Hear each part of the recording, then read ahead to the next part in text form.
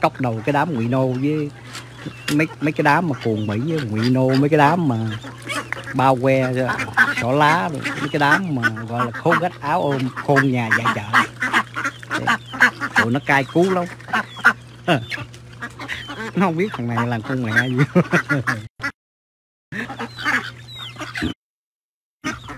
Sao cái internet của mình này tự nhiên nó yếu vậy ta.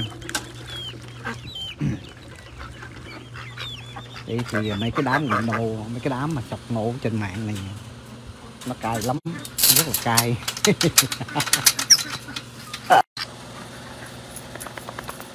Cái internet của mình này tệ đó. Internet mỹ mình tệ dưới rồi nói chung thì à, đất nước xã hội con người thì ở đâu nó cũng có thằng khùng thằng điên.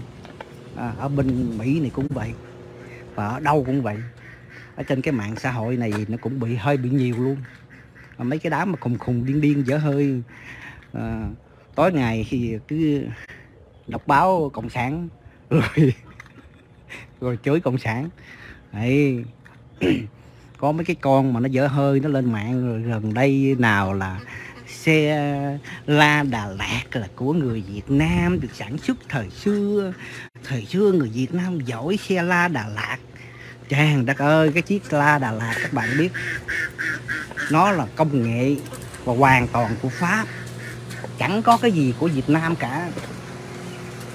Nó là một trăm phần trăm vốn đầu tư được của Pháp hết. Và cái công nghệ đó nó có từ lâu rồi. Nó từ Pháp qua Việt Nam nó thấy cái thị trường, cái thị yếu Việt Nam cho nên nó sản xuất nó bán để đặng nó cạnh tranh với những cái dòng xe khác. Chỉ có vậy thôi mà mấy ông ngụy nô, mấy thành phần cuồng mỹ, ôi thôi thôi, khen nức nở Việt Nam mà sản xuất, thời xưa sản xuất được xe hơi tia mà, hay ớn trời đầu. Rồi bây giờ lại cái vụ của bà Khánh Ly.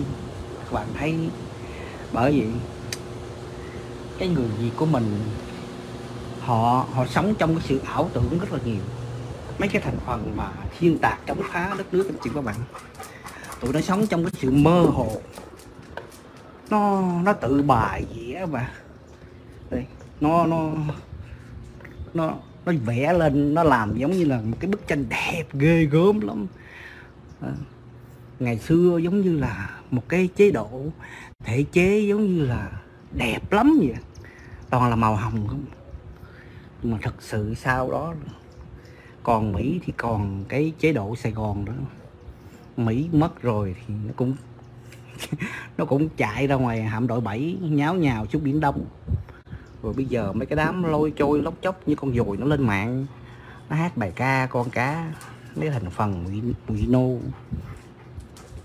Thấy tụi nó là thấy ớn chạy đậu mấy cái đám mà mà mà nó cuồng mỹ rồi ngụy nô nó nó nó nó ca ngợi cái nước mỹ tôi thấy mà ớn chà đầu. Thì hôm nay mình, mục đích của mình là muốn chia sẻ cái đề tài của bà khánh ly. Thì các bạn đã thấy ở Việt Nam, vấn đề mà truyền thông, báo chí Việt Nam, nó loạn giả mà tôi nói chị các bạn, tôi nói cái này sự thật. Các bạn nhìn kỹ đi. Ừ. Nó nó bị nó bị ờ, những cái thành phần mà phản dân tộc nó nó chỉ biết lợi ích nhóm của nó và đồng tiền là là tất cả. Cho nên nó không có uh, đề cao tinh thần dân tộc và an an nguy quốc gia gì cả. Mình lấy lấy làm đáng tiếc. Cái chuyện của bà Khánh Ly thì tôi nói một cái người mà thật sự mà người ta mà có cái tâm mà họ về lại quê hương thì họ không bao giờ như bà Khánh Ly như vậy. Lần đầu tiên bà ấy trở về Việt Nam là tôi thấy rồi, cái bà này có cái mưu đồ. Ít khi nào mà, tôi nói chuyện các bạn các bạn không bao giờ nhìn thấy và hiểu được những cái người chống cộng ở hải ngoại như tôi đâu. Tôi chia sẻ về với quê hương đất nước cái cách nói chuyện của tôi rất là thẳng thắn, có nhiều người chửi tôi thế này thế nọ. Nhưng mà tôi chỉ muốn làm sao để bảo vệ cái cơ chế? Tại vì Việt Nam mình là một đất nước nó không phải giống như những cái quốc gia khác. Cái chiều dài lịch sử và vấn đề mà mô hình xã hội cũng vậy và cái văn hóa cũng vậy. À, mà hiện hiện nay Việt Nam đang buông lỏng về vấn đề truyền thông báo chí không gian mạng đồ rất là khủng khiếp rất là nguy hiểm. À, ngày ngày lần đầu tiên bà Khánh Ly mà bảo về là tôi đã thấy cái cái mồi của bà những cái tay mà chống cộng mà gọi là gạo cội khét tiếng như bà Khánh Ly, các bạn nghĩ đi. Bỏ cái con đường mà mà chống cộng ở hải ngoại thì nó rất là hiếm, giống như mò kim dưới đáy biển. Lần đầu tiên bãi về, bãi đi đi ra ngoài bãi biển, ở nha trang thì phải hay ờ, khánh hòa gì tôi quên rồi.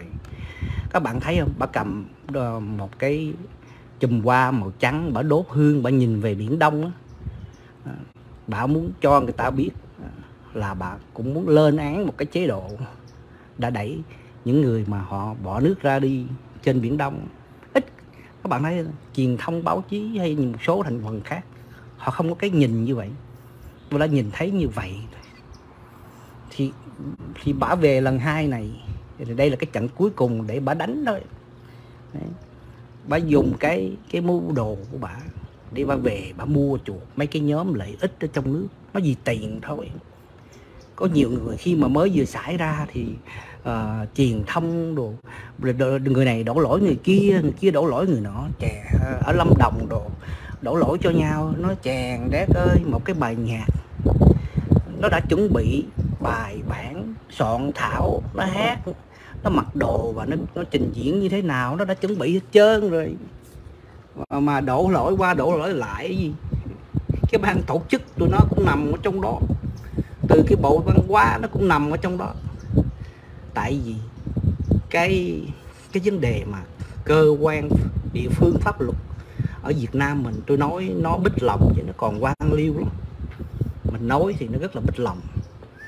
Nhưng thà phải nói ra để đặng mình bảo vệ cái cái, cái cơ chế cái sự tồn tại của đất nước và an ninh của đất nước. Để những người mà người ta có lòng với quê hương đất nước những người lãnh đạo người ta có tấm lòng, có tâm có tầm người ta sẽ nhìn người ta thấy. Không có tôi nói một điều những gì tôi chia sẻ tôi góp ý về quê hương quý vị đi đi đốt đuốc tìm không bao giờ ra một người nào như tôi đâu. Một cái người có tâm như tôi tôi nói thật đấy tôi bảo đảm luôn đó. tôi chỉ tìm cách để bảo vệ cái cơ chế và cái đất nước cái sự bình yên mà biết bao nhiêu người đã đổ máu và nằm xuống. Tôi trân trọng những điều đó. Tôi góp ý kiến và tôi đưa ra một cách gọi là bất vụ lợi. Không có phải nhà nước Việt Nam cũng không có phải đi thuê người này thuê người kia để đặng mà mà, mà, mà đưa ra những cái ý kiến. Tôi chia sẻ một cách tự nguyện. Tôi nói thật đấy. Những cái gì mà của bà Khánh Ly rồi nó nó nó nó là một cái sự gọi là quá lỏng lẻo hờ ơ mà cái vấn đề mà pháp luật địa phương nó bị nó bị lũng đoạn quá nhiều. Trên bảo dưới nghe thằng nào có tiền bỏ ra là xong. Cứ là tiền. À, xong đi rồi tao sẽ sẽ tính. Nó như vậy thôi. Bây giờ tôi nói về cái bài nhạc đó cái bài nhạc mà gia tài của mẹ thật sự ra người dân Việt Nam không? Họ hát karaoke rồi họ hát cái này nọ ngày này tháng nọ lĩnh đó tôi nói người ta hát. Và chẳng ai nói. Nhưng mà cái mục đích của bà Khánh Ly tại vì bà là những cái thành phần gọi là chống cộng cực đoan. Đấy, các bạn nghĩ đi bà hát có cái cái cái mưu đồ à, cái mưu đồ của bà. Bây giờ cái bài hát đó bắt đầu nó nó dậy sóng ầm ầm hào hào. Tiêu rồi tôi thấy các bạn thấy không? Bình đã bị hớ rồi bắt đầu tụi nó trên không gian mạng đài RFA tụi BBC những cái truyền thông thổ tả của bọn chống cộng ở ngoại bắt đầu tụi nó sẽ dùng cái đó. Nó sẽ tố Việt Nam. Bây giờ mình siết lại, thì nó bắt đầu nó sẽ tố Việt Nam. Hồi bấy lâu nay cái bài đó nó chỉ bình thường thôi. Nó không có cái, nó không có gì gọi là phải quá trầm trọng. Nhưng bởi vì bà Khánh Ly bà là một ca sĩ, là một người gọi là chống cộng ở hải ngoại bà hát thì có cái mục đích của bà. Chứ các bạn thấy ngay cả tuổi ở ngoài Hà Nội, nó chuẩn bị tháng 7 này, chính tây tháng 7 để nó biểu diễn mà nó đã dán tờ quảng cáo lên là là bà Khánh Ly sẽ hát cái bài gọi là gia tài của mẹ. Các bạn thấy khủng khiếp không?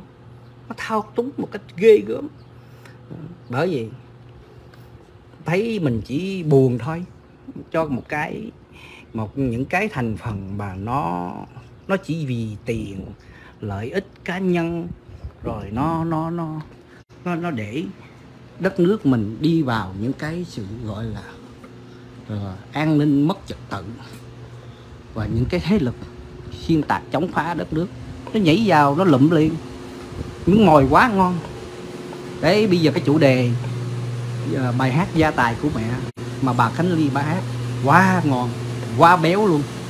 Cái tụi chống cộng ở hải ngoại bắt đầu bây giờ đi lên không gian mạng chỗ nào cũng vậy.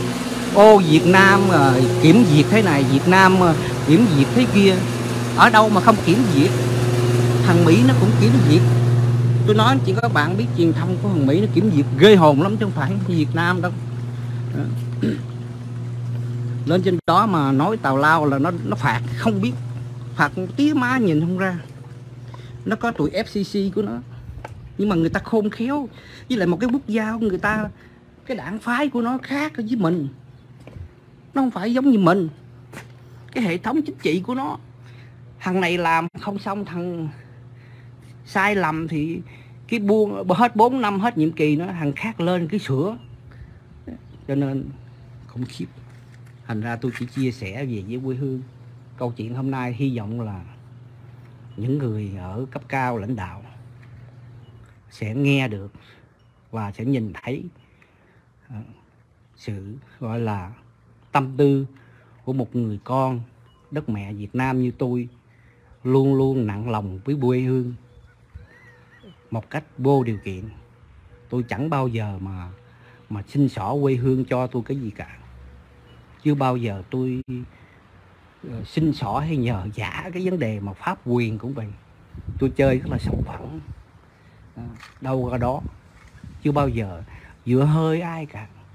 Những gì tôi chia sẻ là để mong rằng những người mà lãnh đạo người ta có cái sự hiểu biết sâu rộng, người ta sẽ nhìn thấy à, để là ngăn chặn những cái tội mà xuyên tạc chống phá đất nước. Tôi nói với quý vị, ngày nào mà cái lá cờ bao que mà nó còn bay ở hải ngoại thì ngày đó tụi nó không bao giờ để cho Việt Nam bình yên đâu tôi nói thật đấy. Vừa rồi, thủ tướng phạm minh chính, các bạn có thấy không? Nó treo cờ tại vì các bạn không có xem tin tức ở tụi nó bên này những cái truyền thông của tụi nó nó bẩn bừa. Nó ra rồi đó, nó chửi. Nó chửi nhà nước Việt Nam mình. Nó treo cờ lên. Thấy mà, thấy thấy mà ớn. Cái tụi chống cộng ở hải ngoại nó khát máu lắm. Tôi nói anh chị các bạn, nó giết được tôi, nó giết từ lâu rồi tại tôi không có sống với tụi nó. Và tôi không có tham gia với tụi nó. Hồi nào giờ tôi thấy tụi nó là tôi tránh à. mình không thích. Toàn là cái quân ô hợp. Nó không có đáng gì cả. Thôi thì là mình dừng lại ở đây. Mình chỉ chia sẻ về một cái sự việc mà nó xảy ra. Câu chuyện mà bà Khánh Ly bà hát, cái bài hát của bà. Bây giờ bà đã thắng rồi. Các bạn thấy không? Đấy bây giờ truyền thông tôi hải ngoại à, nó đã nó nó nó đã gọi là vui mừng reo hò lên. Đấy về bài hát đó bắt đầu là nó xôn xao lên bắt đầu nó tuyên truyền ra. Rồi bắt đầu người dân Việt Nam trong nước họ mới đi tìm hiểu. Đó bắt đầu họ vô họ coi. Rồi bắt đầu bây giờ cái bài hát đó bắt đầu sẽ hát khắp mọi nơi luôn. Hồi lúc trước thì lâu lâu người nào thấy chán thì hát chơi.